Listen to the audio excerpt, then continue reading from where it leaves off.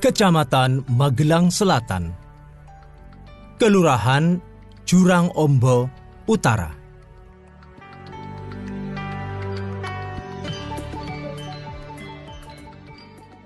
Satu, Kampung Sampangan. Kampung lain yang berkonotasi sama seperti Kampung Pajangan adalah Kampung Sampangan yang memiliki dua makna analogi. Makna pertama adalah kampung ini dikaitkan dengan kata sampang atau sebuah daerah di Madura. Jika asumsi ini benar, maka bisa diduga bahwa kampung ini merupakan tempat tinggal kaum pendatang dari kota Sampang, Madura. Dari situ dapat ditafsirkan bahwa ada beberapa orang Madura yang tinggal dan hidup di kota Magelang di masa silam. Konotasi kedua adalah kata sampan atau perahu kecil yang dipakai untuk pelayaran sungai atau pantai dan dikemudikan atau diawaki oleh satu atau dua orang. Sampan digunakan untuk pelayaran jarak dekat dan juga hanya mampu memuat personalia yang terbatas. Jika analisa ini benar, maka diyakini Kampung Sampangan Tempo dulu adalah sebuah lokasi tempat pembuatan atau penambatan sampan. Namun, kedua asumsi di atas juga perlu dipertimbangkan lebih lanjut. Untuk analisis pertama diperlukan pembuktian seberapa banyak orang Madura yang tinggal dan bekerja di Magelang setidaknya dari Sampang. Juga motivasi apa yang mendorong mereka tinggal di Magelang? Apakah mirip dengan kampung Sampangan di Pekalongan dan Semarang dan dalam era apa perpindahan itu berlangsung? Sementara itu, pada analisis kedua, perlu dipertimbangkan juga lokasi, mengingat keberadaan dan produksi sampan selalu dikaitkan dengan adanya aliran sungai yang menjadi pendukung utama. Untuk itu, perlu dilakukan kajian geografis yang menegaskan bahwa kampung ini terletak di tepi aliran sebuah sungai yang di masa silam digunakan untuk sarana transportasi utama. 2. Kampung Jagoan Merujuk pada memori kolektif masyarakat Magelang lama, dinamakan Kampung Jagoan karena pernah tempat itu ditinggali oleh Kiai Sawung Galih yang memiliki seekor ayam jago ampuh yang acap menang dalam sabung ayam atau adu jago. Lokasi ini konon memang dipakai pula untuk adu jago. Maka wajar jika kata jago begitu melekat dalam benak warga sehingga kemudian dinamakan Kampung Jagoan. Permainan tersebut merupakan perkelahian ayam jago yang memiliki taji dan terkadang taji ayam jago itu masih pula ditambahkan lagi serta terbuat dari logam yang runcing. Rata-rata ayam yang dipertandingkan akan mengalami nasib mulai dari kabur, hilang, bahkan sampai mati. Umumnya, permainan ini diikuti dengan taruhan atau judi. Kisah tutur di atas rupanya memiliki kemiripan dengan warga Surabaya yang mengenal tokoh legendaris Sawung Galing yang hidup pada abad ke-17. Pemuda yang semula bernama Joko Berek ini gemar bermain adu ayam. Sebenarnya, Sawung Galing adalah nama ayamnya. Namun, lantaran ayam jagonya itu dikenal begitu ampuh, maka warga lokal dengan gampang mengganti nama Joko Berek menjadi Sawung Galing. Dicermati dari segi pelafalan, nama Sawung Galih dan Sawung Galing pun nyaris serupa. Warga Magelang tentu sama seperti masyarakat di Nusantara yang telinganya akrab dengan tradisi adu jago. Fenomena ini telah muncul sejak lama, bahkan semenjak periode Majapahit. Saat itu, dipakai istilah menetak gulu ayam.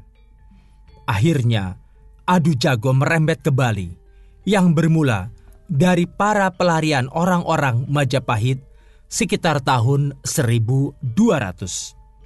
Di Bali, permainan sabung ayam disebut dengan tajen asal tajen dari tabuh rah. Salah satu iatnya atau upacara dalam masyarakat Hindu di Bali. Tujuannya sebenarnya mulia, yaitu mengharmoniskan hubungan manusia dengan buana agung. Iatnya ini runtutan dari upacara yang sarananya menggunakan binatang kurban seperti ayam, babi, itik, kerbau, dan berbagai hewan peliharaan lainnya. Persembahan tersebut dilakukan dengan cara nyambleh atau leher kurban dipotong setelah dimanterai.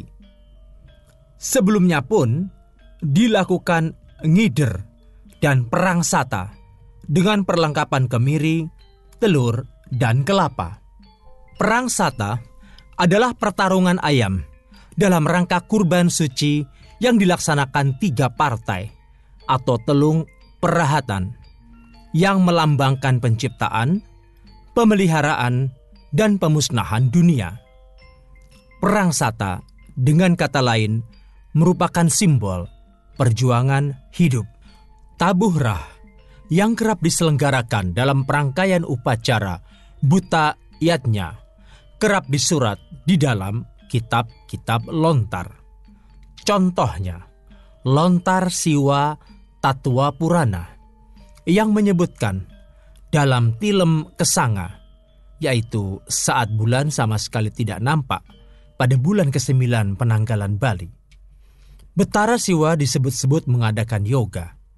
Saat itu, kewajiban manusia di bumi memberi persembahan. Lantas, digelar pertarungan ayam dan dilaksanakan nyepi sehari. Yang diberi kurban adalah sang dasakala bumi, karena jika tidak, manusia di bumi bakal celaka. Ternyata, sabung ayam di Magelang dan Nusantara pada umumnya bukan hanya sebuah permainan rakyat dan menjadi budaya politik, yang mempengaruhi perkembangan sebuah dinasti kerajaan. Namun dalam perjalanan waktu juga menyumbang nama kampung di Magelang. 3. Kampung Prawiro Kusuman Nama kampung ini jelas berasal dari nama seseorang yang diyakini memiliki keterkaitan dengan penguasaan atau kepemilikan atas lahan di perkampungan tersebut besar kemungkinan Prawira Kusuma adalah nama penguasa pribumi sebelum Kabupaten Magelang dibentuk.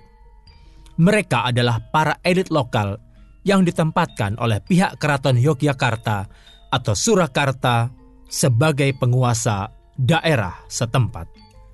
Kelurahan Jurang Ombo Selatan 1. Kampung Karet Diriwayatkan Dulu, Kampung Karet di Kelurahan Jurang Ombo Selatan merupakan daerah perkebunan karet. Pohon karet mulai dikenal di Nusantara sejak era kolonial. Adanya krisis komoditas andalan berupa tembakau dan kopi memicu pemerintahan Belanda membuka perkebunan karet. Sebelum di Magelang, tahun 1864, perkebunan karet dikembangkan pertama kali di Pamanukan dan Ciasem, Jawa Barat oleh sebuah perusahaan Belanda yang bernama Hofland.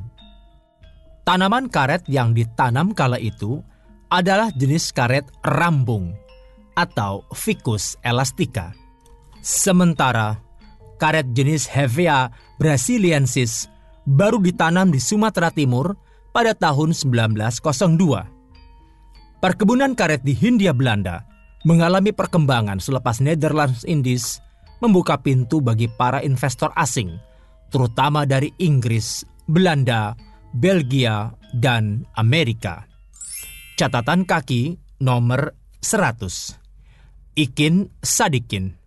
Dampak pembangunan perkebunan karet rakyat terhadap kehidupan petani di Riau. Makalah dalam Pusat Penelitian dan Pengembangan Sosial Ekonomi Pertanian, Bogor, tanpa tahun. Karet merupakan produk dari proses penggumpalan getah tanaman karet atau biasa disebut latex. Pohon karet umumnya disadap pada tahun kelima.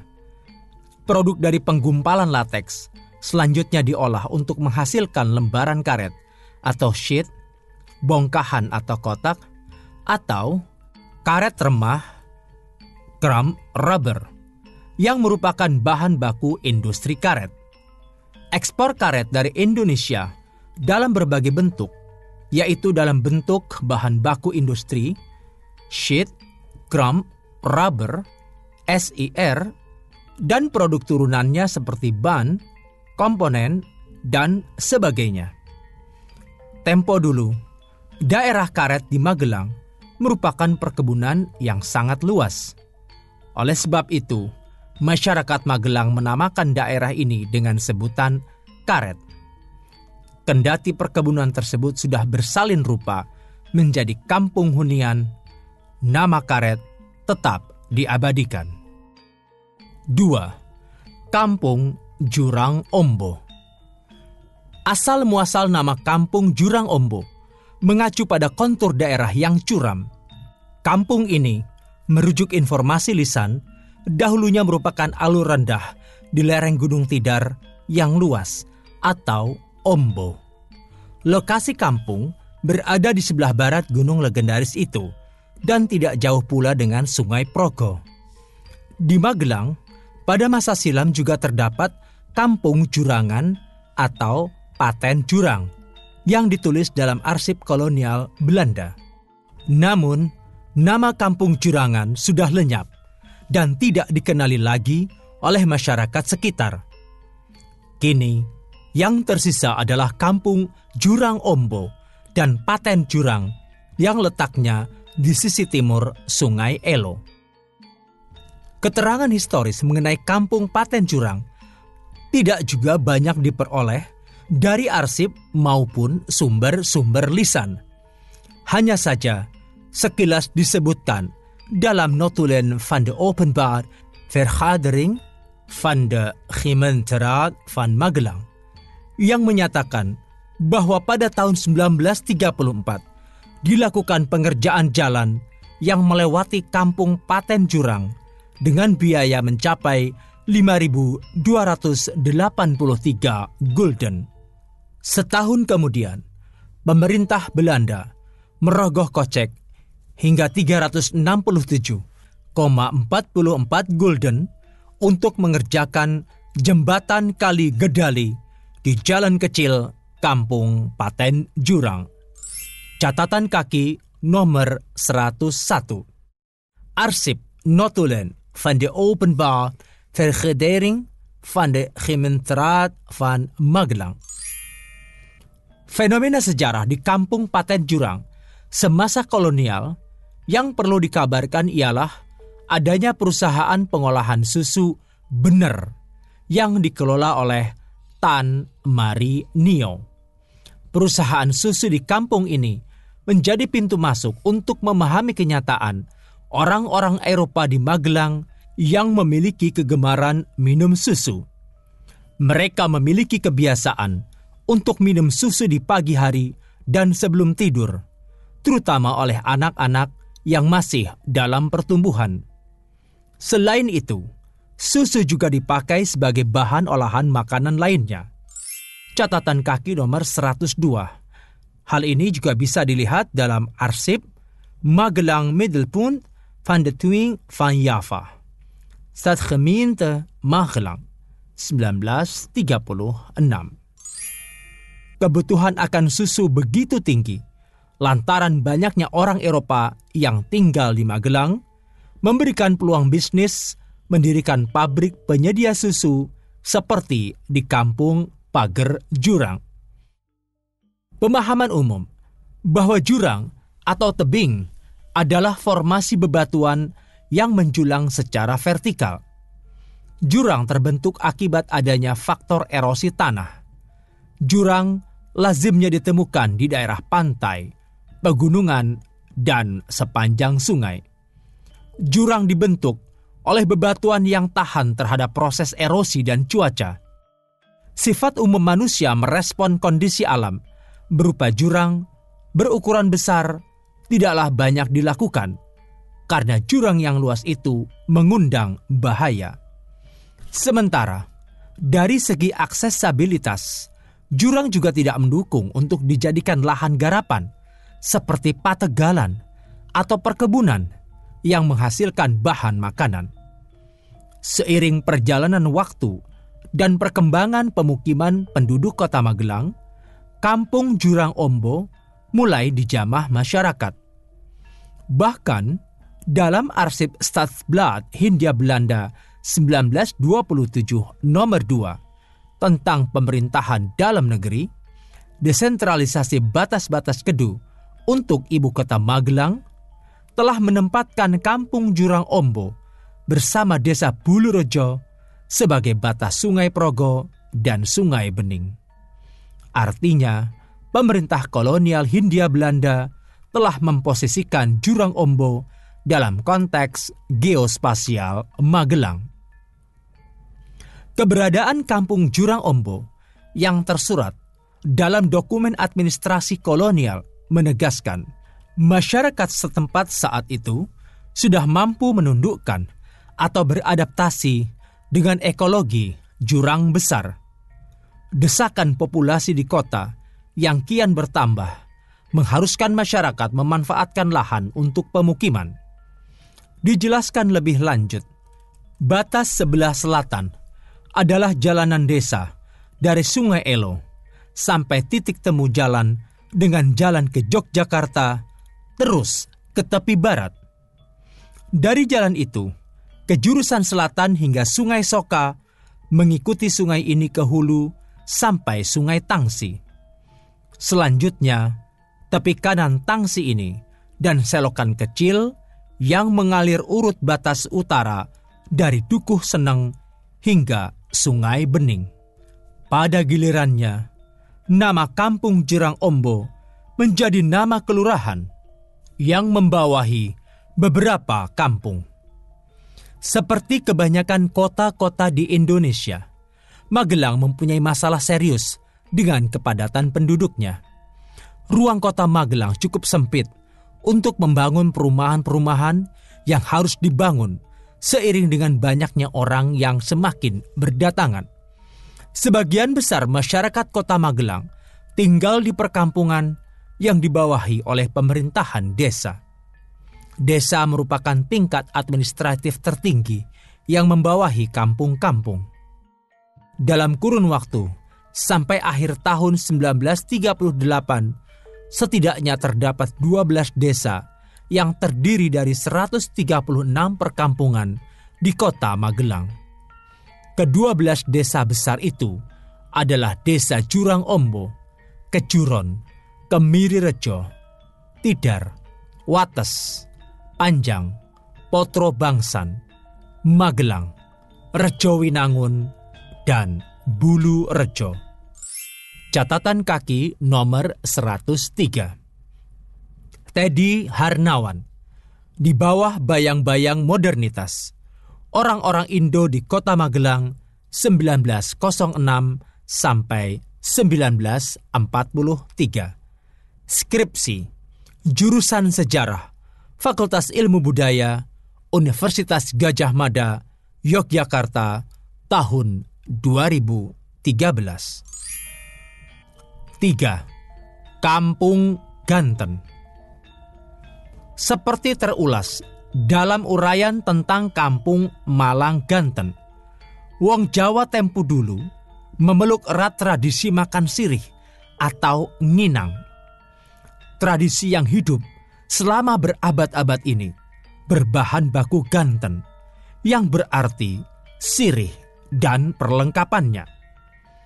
Karena menyukai makan sirih, maka penduduk lokal mengupayakan kinang yang terdiri dari campuran tembakau kering, daun sirih, gambir, jambe, injet atau kapur sirih, dan kembang kantil.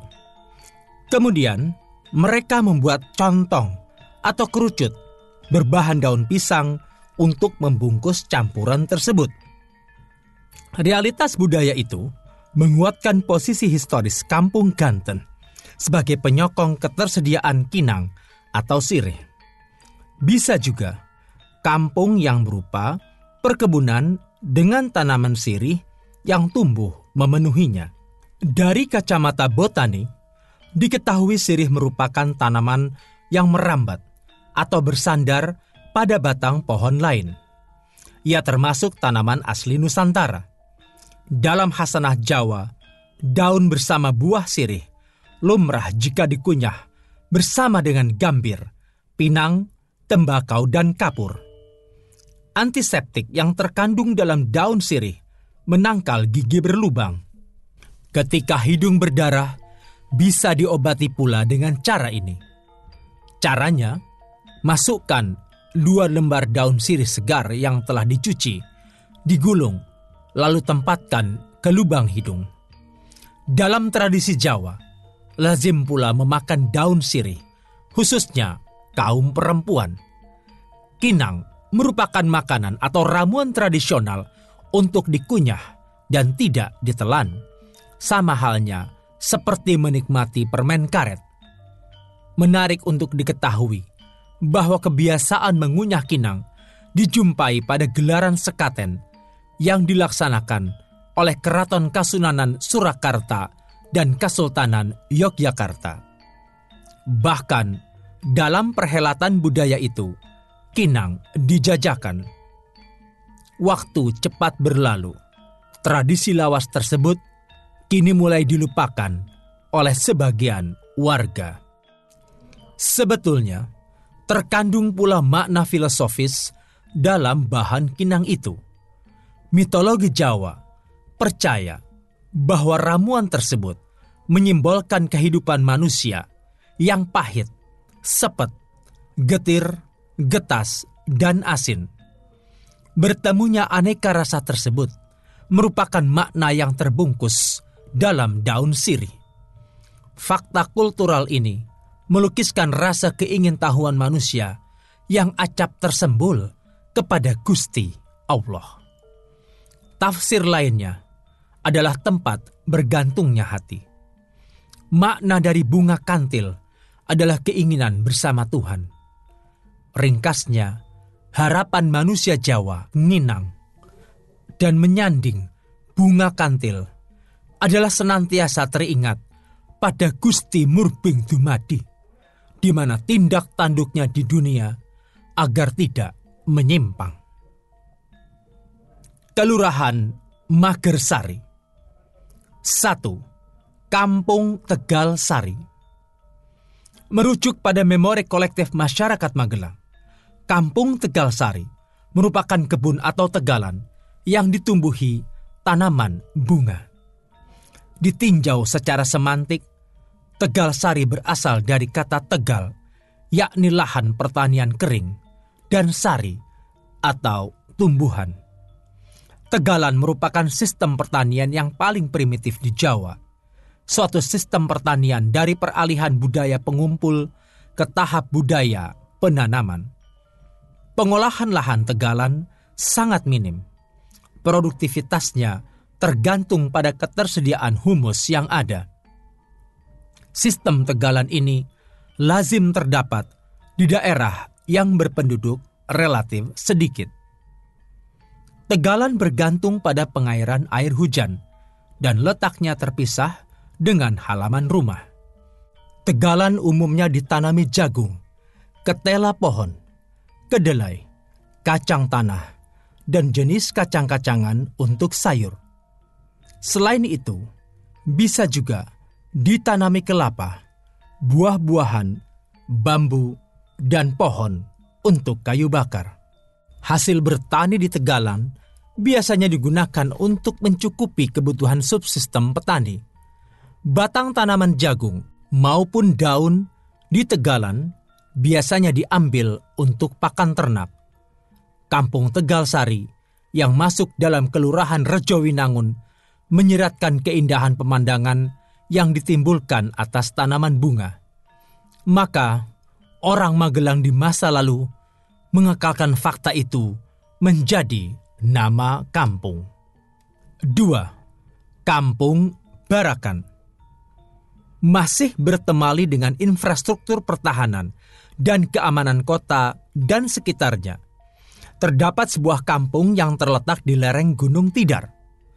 Kampung ini populer dengan sebutan Barakan. Dari namanya, bisa diduga bahwa julukan ini bermuasal dari istilah barak atau tangsi tempat anggota pasukan diasramakan dan mengemban tugas. Dapat dimaklumi, jika konotasi dari istilah itu mengarah pada adanya penempatan pasukan di lokasi tersebut. Diduga, hal ini berasal dari peristiwa yang terjadi pada tahun 1912 ketika terjadi pemindahan Pupilian School atau sekolah untuk taruna pribumi dari Gombong ke Magelang. Catatan kaki nomor 104. Sirkuler dalam Head News van den Dag voor Nederlands Indi, tanggal 2 Februari 1912, lembar kedua. Karena para siswa Pupilian School ini kebanyakan adalah anak-anak Ambon yang ayahnya berdinas militer di Gombong, mereka kemudian digabungkan dengan Ambon School yang telah dibuka di Magelang sejak tahun 1879.